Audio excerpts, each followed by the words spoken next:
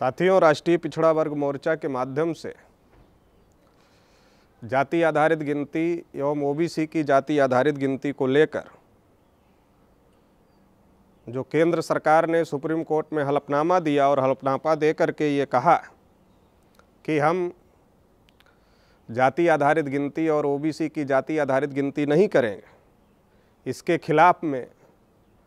तीन कृषि काले कानूनों के विरोध में ईवीएम में जो लगातार चुनाव में घोटाले हो रहे हैं, उसके विरोध में। बड़े पैमाने पर सरकार द्वारा निजीकरण किया जा रहा है, मगर निजीकरण के माध्यम से S C S T O B C का रिजर्वेशन ख़त्म हो रहा है।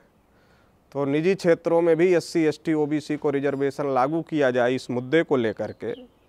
पुरानी पेंशन स्कीम को बहाल करने को लेकर के,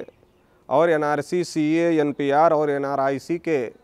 विरोध में पाँच चरणों में आंदोलन घोषित किया गया था, जिसमें पहला चरण 15 अक्टूबर 2021 को राष्ट्रीय स्तर पर पूरे भारत से महामहिम राष्ट्रपति को ज्ञापन भेजा गया और दूसरे चरण में 29 अक्टूबर 2021 को राष्ट्रीय स्तर पे साढ़े पाँच सौ जिला मुख्यालयों पर धरना प्रदर्शन करते हुए महामहिम राष्ट्रपति को ज्ञापन भेजने का कार्यक्रम किया गया। दो चरणों का आंदोलन सफलतापूर्वक संपन्न होने के बाद में अभी तीसरे चरण का आंदोलन 12 नवंबर 2021 को है, जिसमें ऑल इंडिया की 5000 तहसीलों पर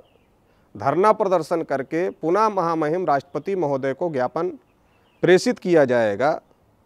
और चौथे चरण में 25 नवंबर 2021 को पूरे ऑल इंडिया की 5000 तहसीलों में रैली प्रदर्शन किया जाएगा और रैली प्रदर्शन के बाद में जेल भरो आंदोलन किया जाएगा।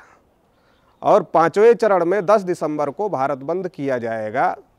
तो ये S C, S T, O B C और माइनॉरिटी के हक अधिकारों के लिए राष्ट्रीय पिछड़ा वर्ग मोर्चा के माध्यम से ये बड़ा आंदोलन घोषित किया गया है।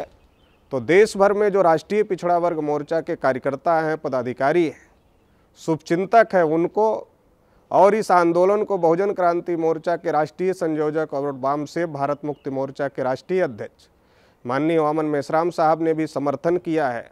तो वाम से भारत मुक्ति मोर्चा और बहुजन क्रांति मोर्चा के सभी कार्यकर्ताओं, पदाधिकारियों और शुभचिंतकों से भी।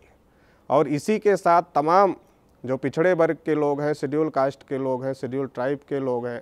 माइनॉरिटीज़ के जो लोग हैं, उन सभी लोगों से ये अपील करना चाहते हैं कि अभी जो तीसरे चरण का आंदोलन और चौथे चरण का आंदोलन और पाँचवें चरण में जो 10 दिसंबर को भारत बंद किया जा रहा है तो इसकी तैयारी बड़े पैमाने पर किया जाए ताकि इस आंदोलन को बड़े पैमाने पर सफल किया जा सके और इन मुद्दों को लेकर के सरकार को झुकाया जा सके।